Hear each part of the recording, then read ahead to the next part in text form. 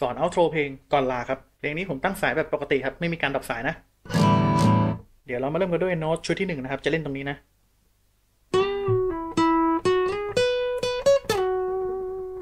อะ เล่นแค่นี้ก่อนนะครับ ส่วนเรื่องตำแหน่งเนี่ยเดี๋ยวเพื่อนๆดูตามแท็บที่ผมแปะไว้ให้ข้างล่างได้เลยนะครับ มาเริ่มกันเลย ก็คือที่โน้ตชุดนี้ครับ ผมก็จะเปิดไปด้วยโน้ตช็อตนี้ก่อน ดี๋ยวผมจะเรียกมันว่าเป็นโน้ตเปิดหัวก็แล้วกันนะครับ ก็จะให้เพื่อนๆเนี่ยจำโน้ตเอ่อจำโน้ตเปิดหัวตรงนี้ให้ดีเลยครับ เพราะว่ามันจะเจอไอ้โน้ตเปิดหัวตรงเนี้ยเอ่อเจอกับโน้ตอีกหลายชุดมากครับที่ผมจะสอนในคลิปนี้นะครับ เจอบ่อยครับ เจอบ่อย ก็จำไปเลยก็แล้วกันนะ ก็วิธีการเล่นก็จะเป็นเอ่อผมใช้นิ้วนางครับ เล่นไปที่ตัวสาย 3 ช่อง 11 ครับ นิ้วนางนะ แล้วมันจะเล่นในลักษณะการดันสายนะครับ เพราะฉะนั้นผมก็ใช้ตัวช่วยครับ เป็นนิ้วกลางกับนิ้วชี้ครับ ก็มาช่วยในการดันสายนะเพื่อให้มันดันได้สบายมากขึ้นนะครับ อ่าดันขึ้นไปเลย ประมาณหนึ่งเสียงแหละ พอดันปุ๊บเนี่ยผมก็จะดันลงมาด้วยนะ ก็จะเป็นประมาณนี้อะดันขึ้นดันลงครับ ดันกลับมาที่เดิมอะพอกลับมาที่เดิมปุ๊บเนี่ยผมก็จะใช้เทคนิคเป็น pull off ครับก็คือนิ้วนางผมเนี่ยจะ pull off ให้มันกลายเป็น สาย 3 ช่อง 9 ครับ ซึ่งนิ้วชี้ผมจะกดรอไว้อยู่แล้วนะ ก็เดี๋ยวเพื่อนๆลองฟังดู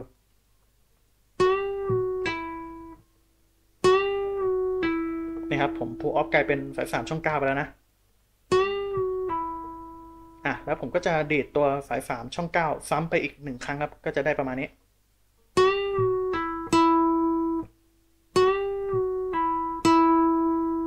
นี่ประมาณนี้ครับ อันนี้ก็จะเป็นโน้ตเปิดหัวตามที่บอกครับ ก็ฝึก ตรงนี้รอไว้เลยนะครับ เพราะว่ามันต้องเจออีกกับโน้ตหลายชุดมากๆนะครับอะพอพ้นโน้ตเปิดหัวปุ๊บเนี่ย ต่อไปก็จะเป็นตรงนี้อะก็คือผมเล่นไปที่ตัวสาย 3 ช่อง 11 ครับ คราวนี้ผมใช้นิ้วกลางมั่งดีดปุ๊บผมสไลด์มาช่อง 13 ครับอะดีดปุ๊บสไลด์มาช่อง 13 นะแล้วต่อไปก็เล่นตรงสาย 2 ครับ ก็เล่นเป็นสาย 2 ช่อง 12 ตัวนี้ดีดไป2ครั้ง อะเดี๋ยวไอ้ตรงนี้มันไม่ได้มีเทคนิคอะไรครับ เดี๋ยวเพื่อนๆดูตามแท็บประกอบไปก็แล้วกัน ก็คือมันเป็นการดีดตรงๆครับ อะมีสาย2ช่อง12แล้วก็สาย2ช่อง14ใช่ไหมถ้าถ้าดูตามแท็บข้างล่างนะครับ ก็จะเล่นในลักษณะประมาณนี้เออก็คือที่โน้ตชุดเนี้ยเราเจอแค่เทคนิคการสไลด์แค่นั้นครับตอนนี้ อะไออีก3โน้ตข้างหลังที่ผมเล่นไปเนี่ยก็คือเป็นการดีดตรงๆไปเลยนะครับอะพอล่าสุดตอนนี้เราเล่นสาย2ช่อง14ใช่ไหมอ่าต่อไปก็จะเป็นช็อตช็อตจบครับก็จะเป็นอย่างนี้อะเป็นการสไลด์แบบแบบเร็วเลยนะครับ ก็คือผมเล่นไปที่สายเป็นสายสามครับอาจจะเป็นช่อง13หรือ14ก็ได้ครับ แล้วแต่เพื่อนๆนะแต่ว่ามันต้องดีดปุ๊บเนี่ยมันต้องสไลด์แบบเร็วนะครับ ให้มันจบที่ สาย 3 ช่อง 11 นะครับ เนี่ยมันจะสไลด์แบบเร็วประมาณนี้เลยนะครับ อะ ลองไปค่อยๆฝึกกันนะครับ อะอย่างที่ผมเล่นเมื่อกี้ก็คือผมเล่นตัวสาย 3 ช่อง 14 แล้วสไลด์กลับไป 11 นะครับ แบบเร็วเลยนะครับ อะ แล้วแต่เพื่อนๆนะครับ ส่วนเรื่องการวางนิ้วเนี่ย ก็ไม่ต้องฟังผมมากก็ได้ครับ เพื่อนๆลองไปวางแผนเรื่องการวางนิ้วเอาเองนะครับ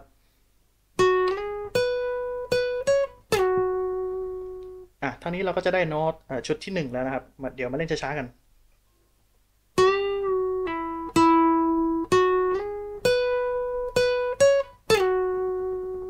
ต่อไปจะเป็นโน้ตชุดที่ 2 ครับ ก็จะเล่นตรงนี้นะ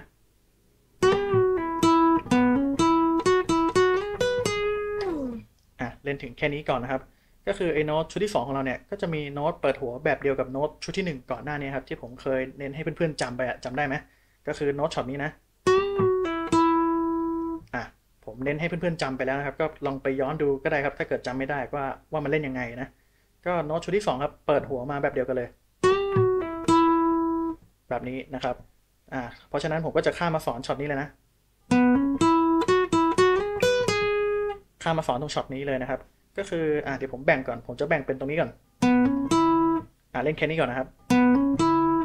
ก็คือผมเล่นไปที่ตัวสาย 4 ช่อง 9 ครับนิ้วชี้ อะตัวนี้มีเทคนิคเล็กน้อยครับ ก็คือเป็นเทคนิค hammer on นะ ผมใช้นิ้วนางครับ hammer on ลงไปที่สาย 4 ช่อง 11 นะ จะได้เสียงประมาณนี้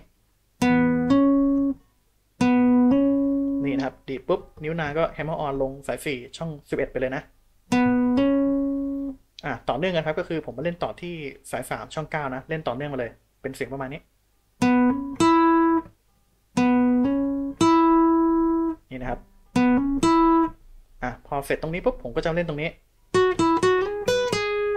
ก็คือผมเล่นไปที่สาย3ช่อง11ครับคราวนี้ผมใช้นิ้วกลางนะ ต่อไปก็ดีดสาย3ช่อง9แล้วก็กลับมาดีดสาย3ช่อง11อีกครั้งหนึ่ง แต่ตอนที่เราดีดสาย3ช่อง11ตัวล่าสุดเนี่ยครับไอตัวนี้นะ ตัวล่าสุดเนี่ย ผมดีดปุ๊บผมสไลด์ไปหาช่อง 13 ครับ จะเป็นเสียงประมาณนี้ อะดีดปุ๊บสไลด์มาเลยนะ ที่ช่อง 13 นะครับ อะแล้วก็จบด้วยอะเป็นสาย 2 ช่อง 12 แล้วก็สาย 3 ช่อง 13 เป็น2โน้ตปิดท้ายนะครับ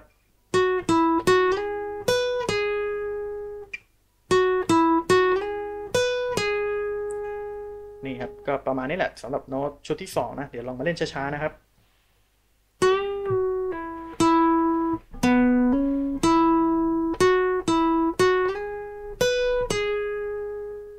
ต่อไปจะเป็นโน้ตชุดที่ 3 ครับ ก็จะเล่นตรงนี้นะ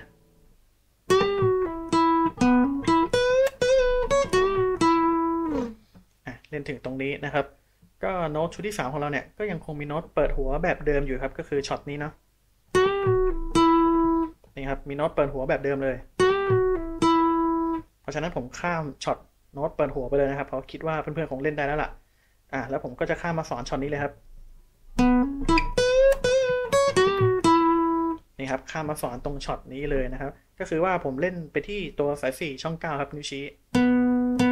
อะดีดปุ๊บผมใช้เทคนิค hammer on ครับ ผมใช้เป็นนิ้วนางแล้วกัน ดีดปุ๊บจิ้มไปที่สาย4ช่อง11ครับ เป็นเสียงประมาณนี้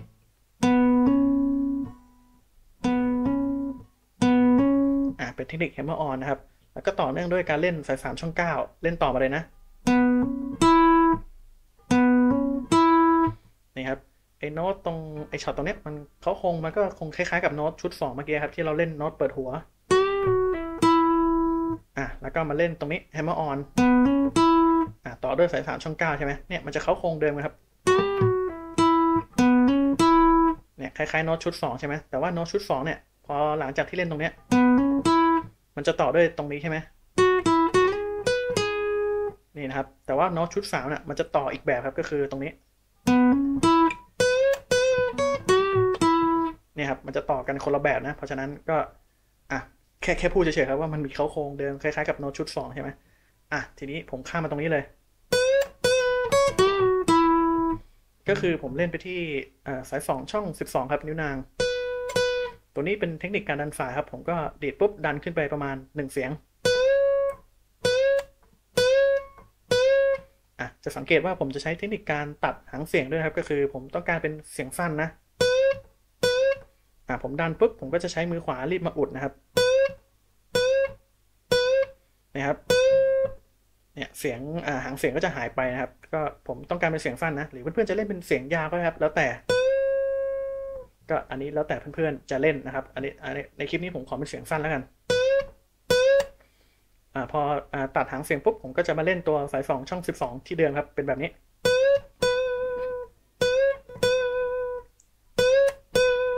นี่ครับอันนี้ผมขยี้สายเล็กน้อยครับ เพิ่มสำเนียง แล้วก็ต่อไปก็จะเป็นตรงนี้อะก็คือผมเล่นตัวสายหนึ่งช่องเก้านิ้วชี้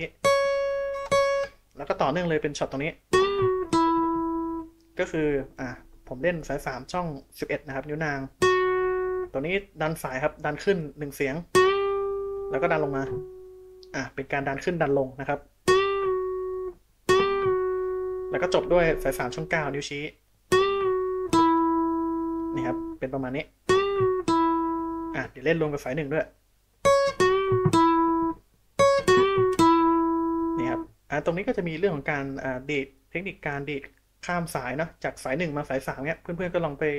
ค่อยๆ หามุมเอ่อหามุมของปิกครับ ที่มันจะดีดแล้วมันโดนสายหนึ่งกับสายสามนะ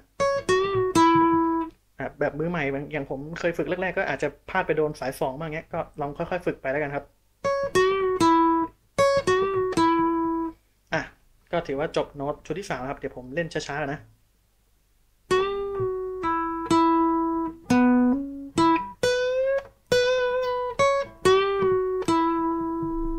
ต่อไปจะเป็นโน้ตชุดที่สี่ครับก็จะเล่นตรงนี้นะ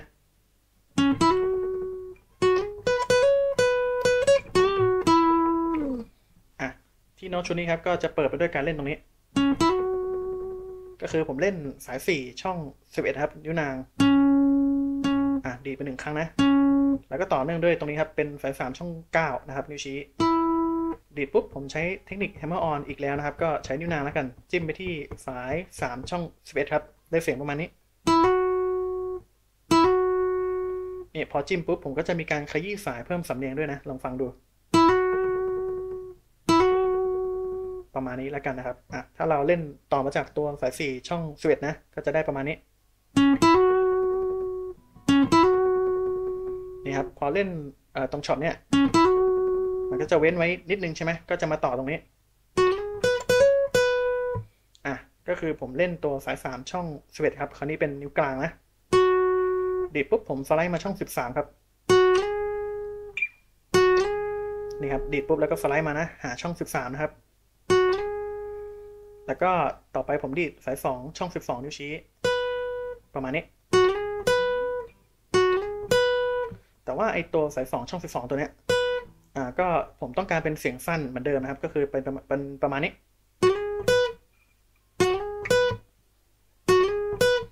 เป็นเสียงสั้นนะก็คือผมดีดปุ๊บอะอาจจะใช้มือขวาในการอุดสายช่วยก็ได้ หรือว่าเป็นการผ่อนเอ่อนิ้วชี้ตัวที่กดสายสองช่องที่สองก็ได้ครับ ผ่อนนิ้วนะเนี่ยอันเนี้ยผมไม่ได้ใช้มือขวาช่วยนะ ผมใช้นิ้วชี้ในการผ่อนครับเนี่ยให้มันเป็นเสียงสั้นนะครับอะพอตัดเสียงสั้นปุ๊บผมก็จะดีดตัวสายสองช่องสิบสองเนี่ยเพิ่มอีกหนึ่งครั้งนะ แต่ว่าไอ้ที่ดีดเพิ่มอีกหนึ่งครั้งเนี่ยผมจะใช้เทคนิค hammer on อีกแล้วนะครับ ก็คือใช้เป็นนิ้วนางนะ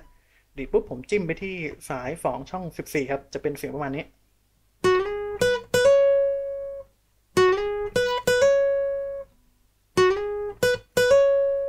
นี่นะครับ แล้วก็กลับมาเล่นสาย 2 ช่อง 12 อีกแล้วนะครับ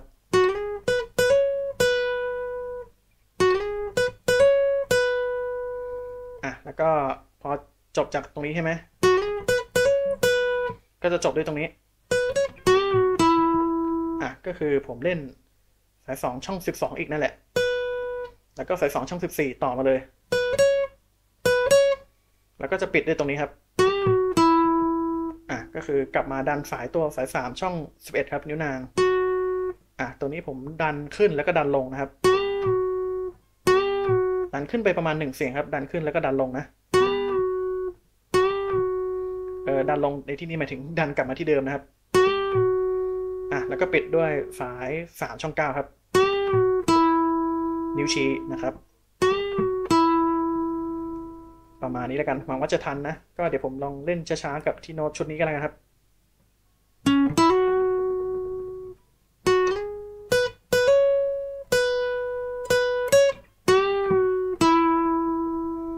ต่อไปจะเป็นโน้ตชุดที่ 5 ครับ ก็จะเล่นตรงนี้นะ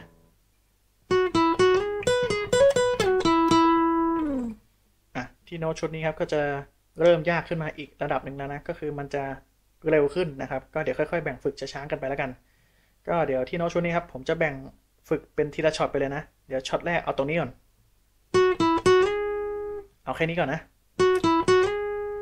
ก็คือผมเล่นไปที่สาย3ช่อง 11 ครับเเลือกเป็นนิ้วกลางแล้วกัน ต่อไปสาย3ช่อง 9 นิ้วชี้ แล้วก็กลับมาดีด สาย3ช่อง 11 อีกครั้งหนึ่ง แต่ว่าไอ้สาย3ช่อง 11 ครั้งล่าสุดเนี่ยครับนี่ยครับตัวล่าสุดเลยนะ ผมดีดปุ๊บผมสไลด์ไปช่อง 13 ครับ เดี๋ยวเพื่อนๆลองฟังเสียงดู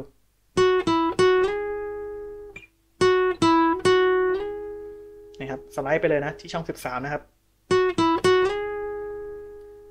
อะ ที่ช็อตนี้ถือว่าจบแล้วนะ เจอเทคนิคแค่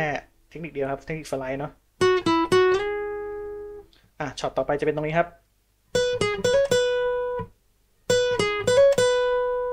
อะก็คือผมเล่นสายสองช่องเอ่อสิบสองนะครับ เลือกเป็นนิ้วชี้แล้วกัน ต่อไปก็ดีดสายสามช่องสิบสามนิ้วกลาง ดีดต่อมาเลยนะ แล้วก็กลับไปดีดสายสองช่องสิบสองอีกครั้งหนึ่งแต่ว่าไอตัวสายสองช่องสิบสองตัวล่าสุดเนี่ยครับ ก็คือผมดีดปุ๊บผมจะ hammer on ครับด้วยนิ้วนางแล้วกันจิ้มไปที่สายสองช่องสิบสี่ครับ เป็นเสียงประมาณนี้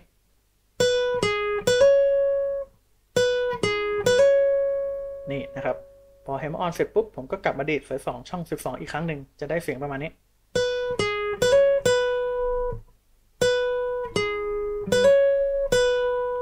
นี่ครับ ทันไหมเอ่ย นี่นะครับ แล้วมันก็จะจบด้วยช็อตนี้ อุ้ยเมื่อกี้เล่นพลาดเอาใหม่นี่ครับก็คือผมเล่นตัวสายเอ่อสายสามช่องเอาเป็นช่องสิบสามแล้วกัน นิ้วนาง ดีดปุ๊บผมสไลด์อย่างเร็วเลยนะ ไปที่ช่องสิบเอ็ดจะได้เสียงแบบนี้นี่ครับเดี๋ยวเพื่อนๆจะเลือกเป็นช่องสิบสี่สิบสามแถวๆเนี้ยเอาเอาให้มันทันที่ช่องสิบเอ็ดแล้วกัน มันจะเป็นการสไลด์แบบเร็วเลยครับ แล้วก็จบด้วยตัวสายสามช่องเก้าดีดอีกสองครั้ง นี่ครับ ก็จะเป็นช็อตจบแล้วนะ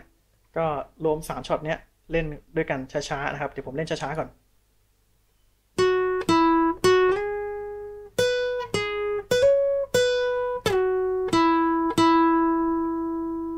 ต่อไปจะเป็นโน้ตชุดที่ 6 นะครับ ก็จะเล่นตรงนี้นะ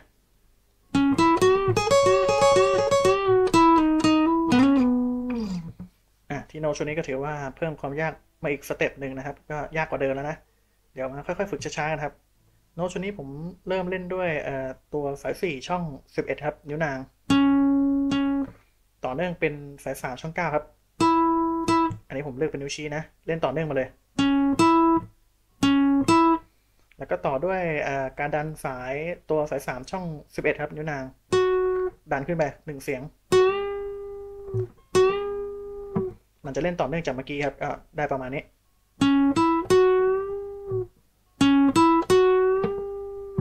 อะแต่ว่าพอหลังจากที่เราเล่นตรงช็อตนี้ใช่ไหม ก็คือจะมาเล่นตรงนี้ต่อ อะเพราะฉะนั้นก่อนที่จะไปเล่นช็อตต่อไปเนี่ยก็คือเดี๋ยวผมมาบอกตรงช็อตเมื่อกี้ก่อนที่ผมเล่นเมื่อกี้ เนี่ยพอผมดันสายตรงเมื่อกี้ใช่ไหม อะจะสังเกตว่าเอ่อตัวนิ้วชี้ผมเนี่ยต้องเอ่อต้องแยกตัวออกไปนะเพราะตอนแรกมันช่วยช่วยนิ้วนางดันอยู่ใช่ไหมแต่ว่าพอดันเสร็จแล้วเนี่ยพอดันขึ้นไปแล้วเนี่ยนิ้วชี้ผมจะต้องรีบแยกออกมานะครับ ก็คือแยกออกไปไหนก็คือไปกดในลักษณะของการทาบครับ เน้นสาย 2 กับสาย 1 นะ ที่ช่อง 9 ครับ เนี่ย เดี๋ยวลองสังเกตนิ้วผมนะ อะ นิ้วชี้ผมต้องรีบมาอ่า รีบมากดทาบไว้ตรงนี้รอไว้แล้วนะครับ ก็คือเตรียมมาเล่นช็อตนี้แหละเนี่ยเห็นปะนิ้วชี้ผมจะอยู่ในลักษณะทาบนะครับอะเดี๋ยวมาค่อยๆ ฝึกกันนะ ก็คือเราเล่นช็อตนี้แล้วนะตอนนี้อะนิ้วชี้ผมมากดรอไว้ปุ๊บก็มาเล่นตรงนี้ต่อครับ ก็คืออะผมเล่นตัวสายสองช่องเก้านิ้วชี้ทาบอยู่แล้ว ต่อเนื่องด้วยสายหนึ่งช่องเก้านิ้วชี้ก็ทาบอยู่แล้ว อะดีดทีละตัวนะครับ แล้วก็ไอ้ตรงนิ้วนางที่ผมดันสายสายสามช่องเฟดไว้เนี่ย ก็ยังคงเล่นแบบดันสายต่อไปนะ ก็จะเป็นแบบนี้ เนี่ยเล่นสายสองช่องเก้าสายหนึ่งช่องเก้าแล้วก็มาดันสายสายสามช่องสิบเอ็ด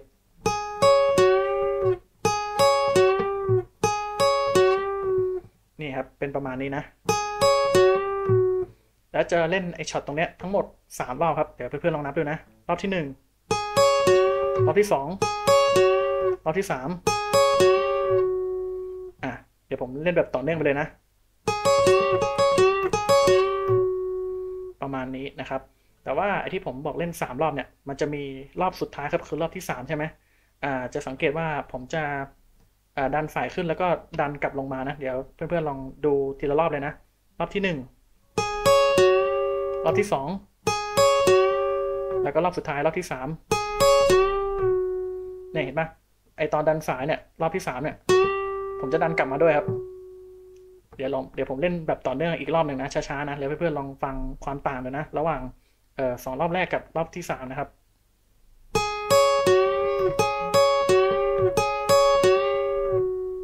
นี่ครับรอบที่สามจะมีการดันขึ้นแล้วก็ดันลงมากลับมาที่เดิมนะครับ บอกไว้ประมาณนี้แล้วกัน เดี๋ยวมาเล่นรวมกับช็อตต้นเมื่อกี้หน่อยนะ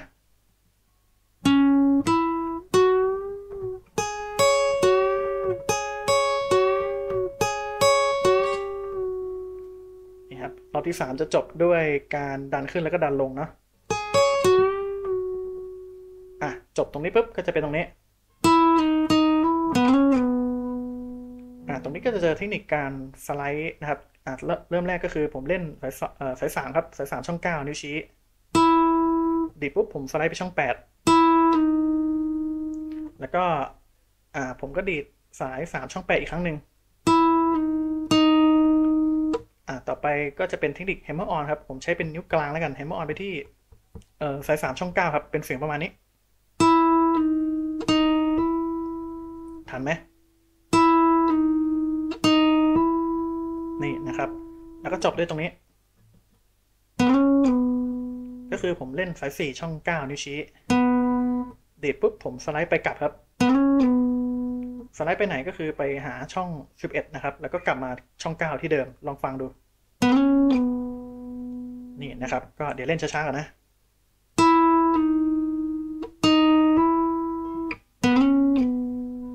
อะทันไหมเอ่ย เราก็จะได้โน้ตชุดนี้แล้วล่ะ แต่ว่ามันต้องค่อยๆ ฝึกกันไปนะ เพราะว่ามันแอบยากนิดนึงนะครับ เดี๋ยวผมเล่นช้าๆก่อนแล้วกัน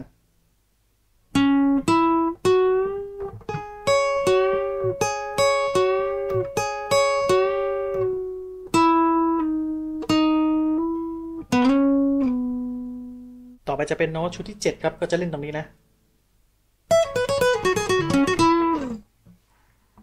ที่โน้ตชุดนี้ผมถือว่าเป็นโน้ตชุดที่ยากที่สุดสำหรับคลิปนี้นะครับ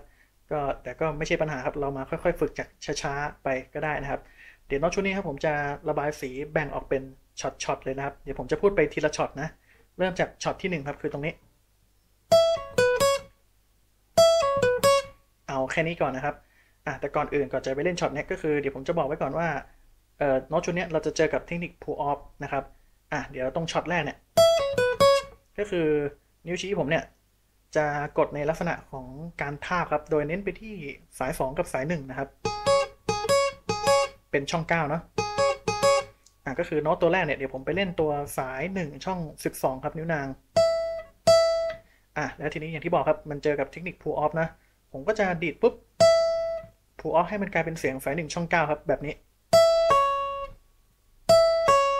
นี่ครับซึ่งนิ้วชี้เราทาบสาย 1 กับสาย 2 รอไว้แล้วนะครับ เออผมบอกว่าเป็นท่านะ ไม่ใช่กดแค่สาย1ครับท่าบเออสาย2กับสาย1นะครับ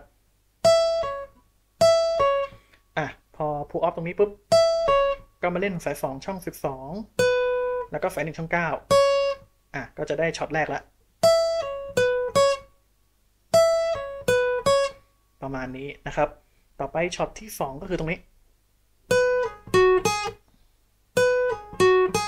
อะมันก็จะคล้ายๆกับช็อตแรกแหละ แต่แค่มันเปลี่ยนสายนะครับ ก็คือผมเล่นไปที่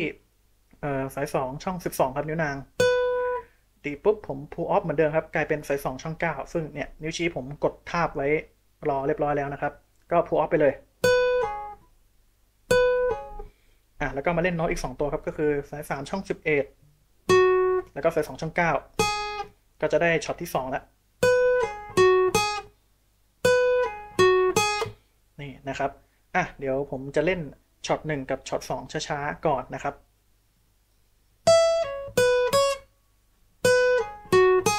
อีกรอบหนึ่งอะแต่ว่าผมเล่นช็อต1กับช็อต2เนี่ยคือเว้นไว้นิดหน่อยครับ แต่ที่แต่ที่จริงแล้วเนี่ยมันเล่นต่อเนื่องกันนะ แต่ทีเนี้ยผมจะเล่นแบบต่อเนื่องช้าๆนะครับ เป็นประมาณนี้ นนี้คือช็อตหนึ่งกับช็อตสองเล่นต่อเนื่องกันเลยนะครับ แบบช้าๆนะ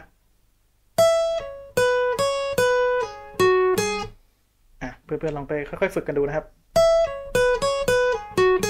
เดี๋ยวมันก็จะเร่งความเร็วได้เองแหละถ้ามันชินอะ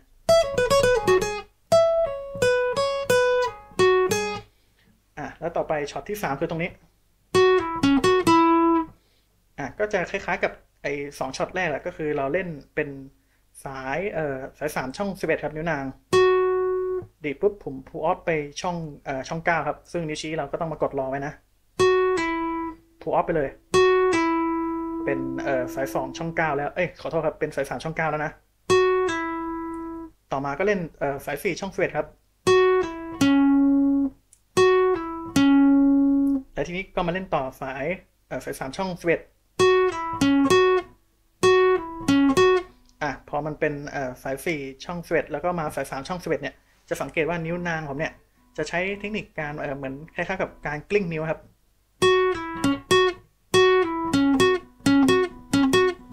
ตรงเนี้ยเนี่ยผมไม่ได้ยกนิ้วนางนะครับ ไม่ได้ยกนิ้วนางแบบนี้นะคือผมใช้การกลิ้งนิ้วแบบเนี้ยอะเดี๋ยวผมลองดีดลองดีดสายสี่ช่องเฟดนะ แล้วพอมาดีดสายสายสามช่องเฟดเนี่ยก็จะเป็นการกลิ้งนิ้วแบบนี้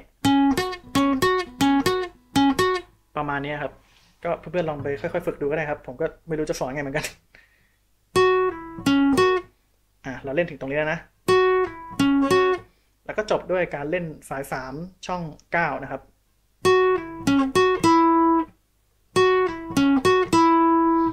แต่ว่าตัวสายสามช่องเก้าตัวเนี้ยผมจะดันขึ้นไปเล็กน้อยครับ ให้เป็นให้มันติดเสียงดันสายประมาณหนึ่งอะประมาณเนี้ยดันด้วยนิ้วชี้ไปเลยครับ ก็พอดันด้วยนิ้วชี้นิ้วเดียวเนี่ยมันอาจจะลำบากนิดนึงครับก็คือผมอาจจะใช้นิ้วโป้งในการช่วยนะครับเนี่ยนิ้วโป้งมาช่วยล็อกแล้วก็หักข้อมือเล็กน้อยเนี่ยเพื่อให้มันดันได้นะครับ ก็ไม่รู้ว่าไม่รู้จะสอนไงก็เพื่อนๆลองไปฝึกดันดูนะ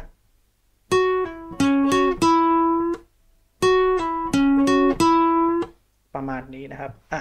เดี๋ยวเล่นสามช็อตช้าๆก่อนนะ ช็อตที่หนึ่งช็อตที่สองช็อตที่สาม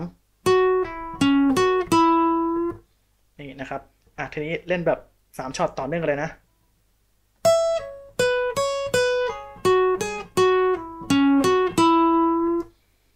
ประมาณนี้แล้วกันครับ ต่อไปจะเป็นโน้ตชุดที่ 8 ครับ ก็จะเล่นตรงนี้นะ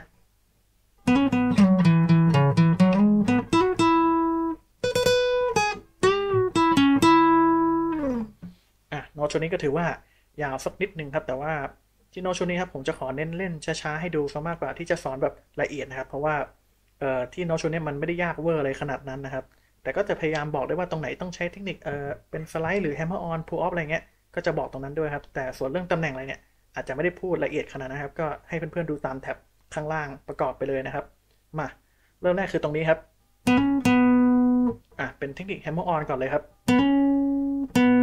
ก็คือผมเล่นสายสี่ช่อง 9 นั่นแหละ แล้วก็ hammer on ไป 11 hammer on ปุ๊บผมก็กลับไปเล่นสายสี่ช่อง 9 อะ ตรงนี้ได้แล้วเนาะ ต่อไปเป็นตรงนี้ อะ จะมีการสไลด์แบบเร็วครับ ก็คืออะผมอาจจะไปเล่นตรงประมาณสาย 5 ช่อง 11 ครับ นิ้วนาง ดีดปุ๊บผมสไลด์แบบเร็วเลยนะ ไปหาช่อง 9 ครับแบบนี้ เฮ้ย เมื่อกี้เล่นผิดขอโทษครับ เนี่ย สไลด์แบบเร็วนะ แล้วก็ไปเล่นสาย5ช่อง7อีก2ครั้ง นี่นะครับ ตอนนี้เราเล่นได้ถึงตรงนี้แล้วนะ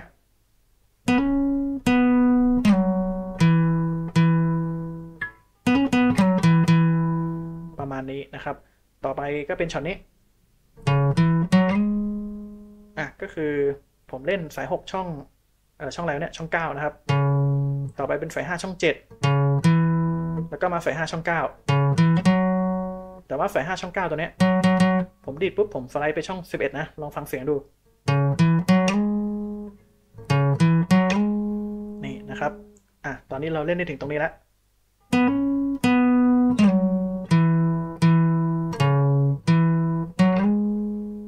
ประมาณนี้นะครับ แล้วต่อไปก็จะเป็นตรงนี้ คือนิ้วชี้เนี่ยเล่นไปที่สาย4ช่อง9ครับ แล้วก็มาเล่นสาย3ช่อง 9 แต่ว่าตัวสาย3ช่อง9เนี่ยผมใช้เทคนิคเอ่อ hammer on ครับ hammer on ไปที่สาย 3 ช่อง11นะครับ เป็นแบบนี้ แล้วก็จบด้วยสาย 3 ช่อง 9 นี่ ตอนนี้เราเล่นได้ถึงตรงนี้แล้วนะ อุ้ยขอโทษครับ เอาใหม่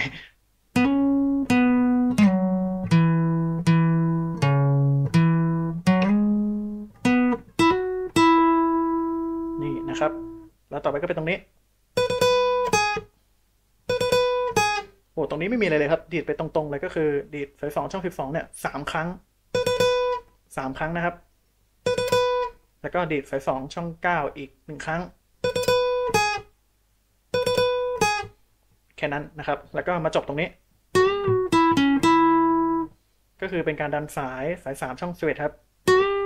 ดันขึ้นแล้วก็ดันกลับมาที่เดิม แล้วก็เล่นอย่างนี้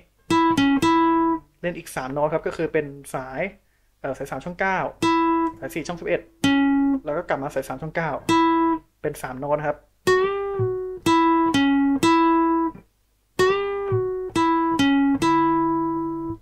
มาณนี้นะครับอะก็จะได้โน้ตชุดนี้แล้วก็มาเล่นช้าๆกันนะ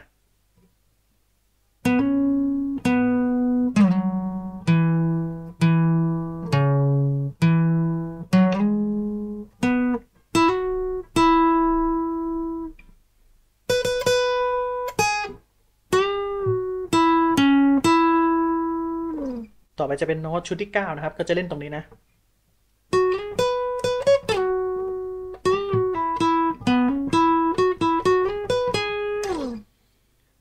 โน้ตชุดนี้ครับ ผมขอไม่สอนก็แล้วกันนะครับ เพราะว่าถ้าเพื่อนๆพอจะจำได้อยู่เนี่ย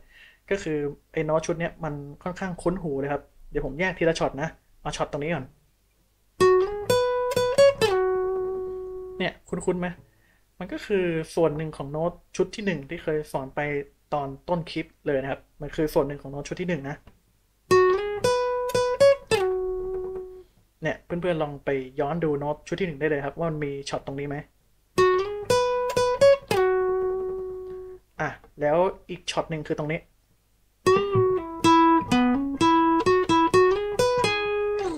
โอ้ตรงนี้แบบจังๆเลยครับ มันก็คือโน้ตชุดที่ 2 นั่นเองนะครับ ที่เคยสอนไปแล้วนะ อันเนี้ยลอกเอ่อลอกโน้ตชุดที่ 2 มาทั้งดุนเลยนะครับ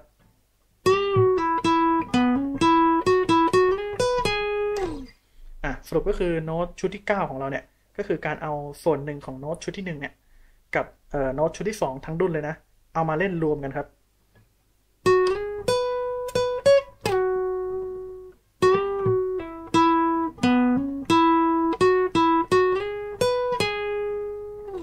ต่อไปจะเป็นโน้ตชุดที่ 10 นะครับ ก็จะเล่นตรงนี้นะ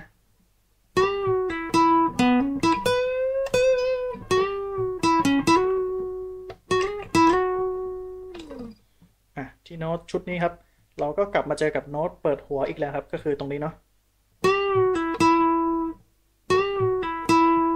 เพราะฉะนั้นผมก็จะข้ามไปเลยนะครับ ที่โน้ตเปิดหัวตรงนี้นะ ผมจะข้ามมาตรงนี้เลยครับ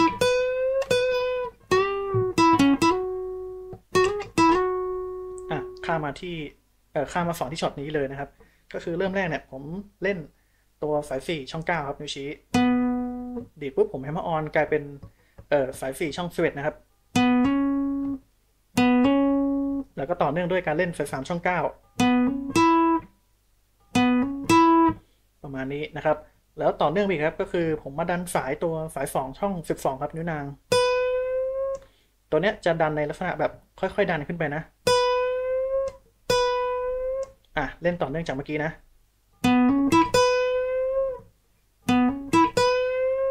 ประมาณนี้นะครับ แล้วก็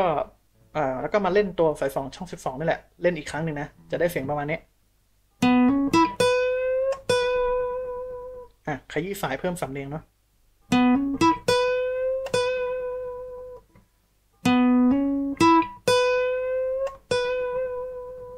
ประมาณนี้นะครับ ต่อไปเป็นช็อตนี้ ก็คือผมดันสายสามช่องเฟดดันขึ้นไป ดันขึ้นปุ๊บ แล้วก็ดันกลับมาที่เดิมด้วย แล้วต่อไปก็เล่นตรงนี้ ก็คือผมเล่นสาย3ช่อง9ต่อไปสาย4ช่อง11แล้วก็กลับมาสาย3ช่อง9อีกรอบหนึ่งอะแต่ว่าไอตัวสาย3ช่อง9ตัวล่าสุดเนี่ย ตัวล่าสุดเนี่ยนะ ก็ดีดปุ๊บผมจะ hammer on ครับ ให้มันกลายเป็นสาย 3 ช่อง 11 แบบนี้ อะขยี้สายเพิ่มสำเนียงครับ ทันไหมอะอันนี้เล่นต่อจากดันสายสายสามเมื่อกี้นะ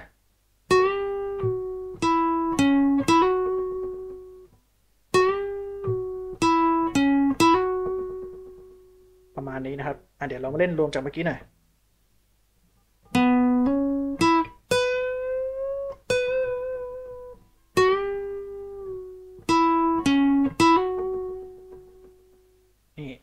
ก็จะจบด้วยตรงนี้ครับอะก็คือเป็นเทคนิคการสไลด์ครับสไลด์ต่อเนื่องกันสองครั้งเลยนะก็คือครั้งแรกครับจะเป็นเอ่อผมเล่นสายสามช่องสวิตดีปุ๊บสไลด์ไปสิบสามแล้วก็อีกครั้งหนึ่งเนี่ยจะเป็นตัวสายสามช่องเก้าครับดีปุ๊บผมสไลด์ไปสิบเอ็ดอะก็จะได้สไลด์สองครั้งติดกันแบบนี้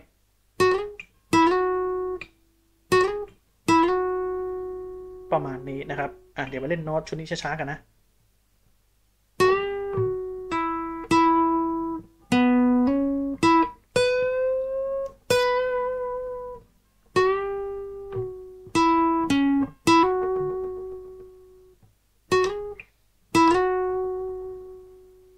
ประมาณนี้ครับ ต่อไปโน้ตชุดที่ 11 ครับ ก็จะเล่นตรงนี้นะ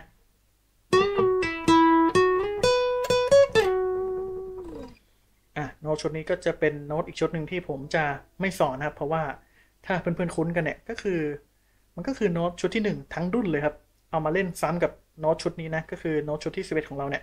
เอามาเล่นซ้ำอีกรอบหนึ่งนะครับ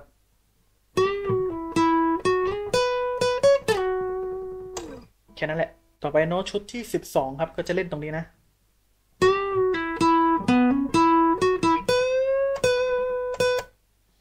อะ เล่นแค่นี้นะครับ ก็คือที่โน้ตชุดเนี้ยเราก็ยังเจอกับโน้ตเปิดหัวช็อตเดิมเลยคือช็อตนี้ เป็นโน้ตเปิดหัวเหมือนเดิมเลยนะครับ แล้วผมก็จะข้ามมาสอนที่ช็อตนี้แทนนะ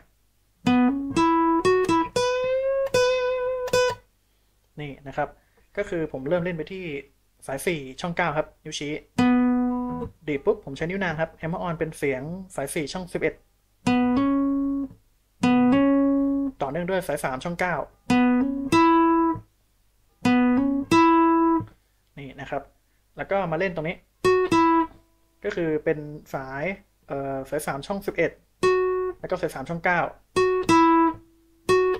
อีก2โน้ตนะครับอะก็จะต่อกันได้ประมาณนี้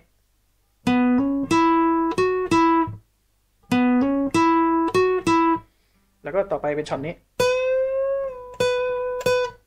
ก็คือเป็นการดันสายนะ ผมเล่นสาย 2 ช่อง 12 ครับนิ้วนาง ดีดปุ๊บผมดันขึ้นไป ดันประมาณ 1 เสียงเนาะอะ แล้วพอดันปุ๊บเนี่ย ก็มาเล่นที่เดิมครับ สาย 2 ช่อง 12 เป็นประมาณนี้ ขยี้สายเพิ่มสำเนียงนะ แล้วก็ดีดสาย 2 ช่อง 12 ตัวเดิมนี่แหละ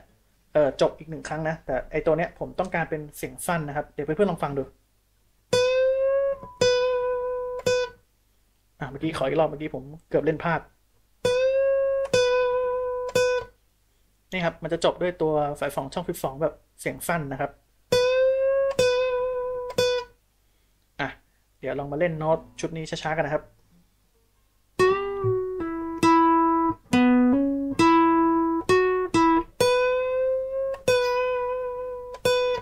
และนี่คือโน้ตชุดสุดท้ายของคลิปนี้ครับ โน้ตชุดที่ 13 จะเล่นแบบนี้ครับ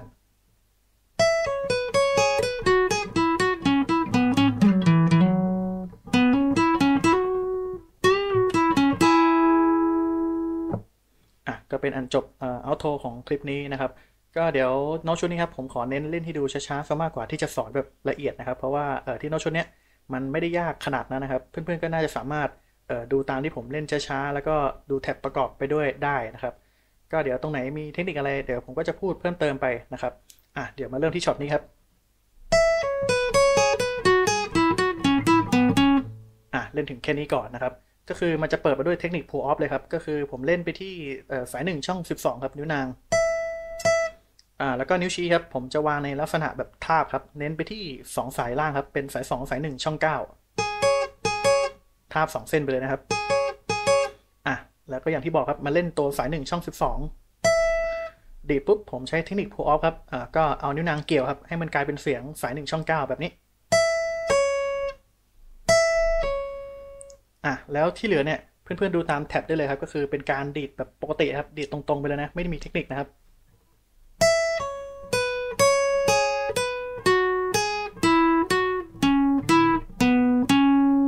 นี่ครับดีดตรงๆไปเลยครับไม่มีเทคนิคอะไรเลย นอกจากไอ้เนี่ยไอ้ pull off ช็อตแรกแค่นั้นเลยครับ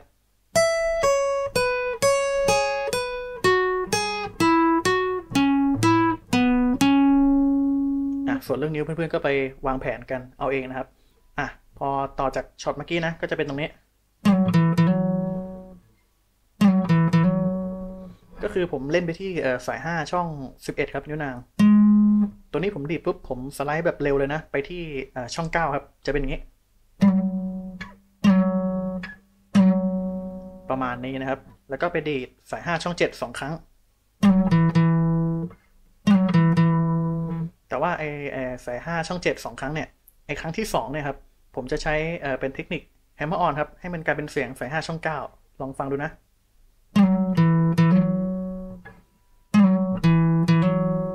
นะครับไอ้ครั้งที่2เนี่ยก็คือดีดดีดสาย5ช่อง7ปุ๊บก็ hammer on เป็นช่อง9นะครับ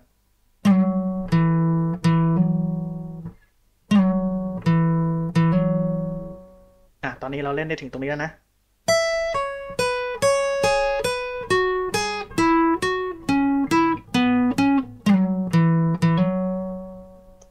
นะครับ แล้วต่อไปก็เป็นช็อตนี้อะก็คือเปิดไปด้วยเป็นเทคนิค hammer on เลยครับ ก็คือผมเล่นไปที่สาย 4 ช่อง 9 ดีดปุ๊บผม hammer on ครับ เป็นช่อง 11อะผมใช้นิ้วนางมา hammer on นะ ต่อไปก็เล่นสาย 3 ช่อง 9 แล้วก็กลับไปเล่นสาย 4 ช่อง 11 อีก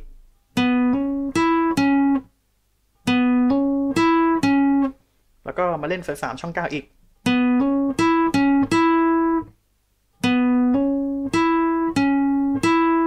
แต่ว่าไอ้สาย3ช่อง9ครั้งล่าสุดเนี่ยครับนะตัวล่าสุดเลยนะ ตัวเนี้ยผมดีดปุ๊บผม hammer on อีกครับ เป็นช่อง 11 ลองฟังเสียงดูนะอะ hammer on กลายเป็นสาย3ช่อง 11 นะครับ อะช้ากว่านี้หน่อย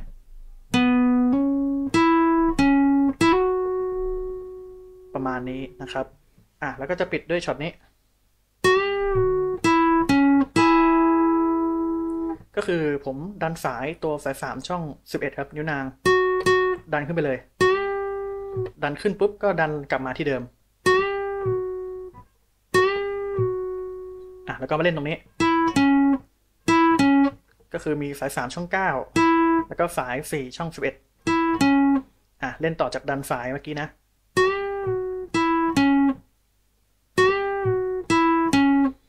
แล้วก็จะปิดด้วยเอ่อคู่สายครับ ก็คือนิ้วชี้ผมวางในลักษณะทาบนะ เป็นสาย 3 กับสาย 2 ครับ ช่อง 9 ทั้งคู่เลยนะ แต่ตอนดีดเนี่ยผมดีดแบบเป็นคู่คู่สายไปเลยนะ ก็จะได้เสียงแบบนี้อะก็คือดีดทีเดียวให้มันโดน 2 สายไปเลยนะ ก็จะเป็นแบบนี้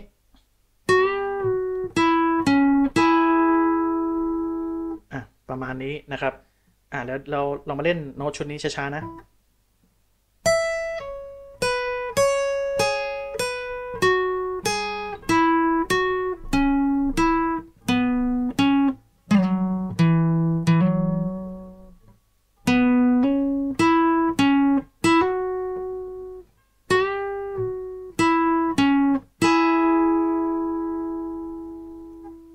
ก็ทั้งหมดก็ประมาณนี้ครับ เดี๋ยวเราเออเราลองไปเล่นอัลโท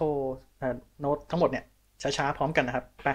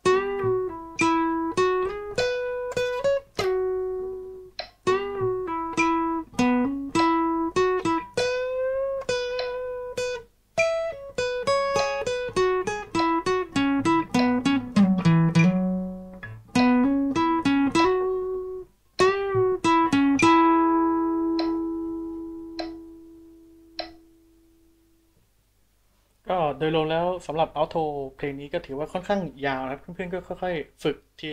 โน้ตทีละชุดไปนะครับ ก็ประมาณนี้ครับ ถ้าสอนไม่ดีขอโทษด้วยครับ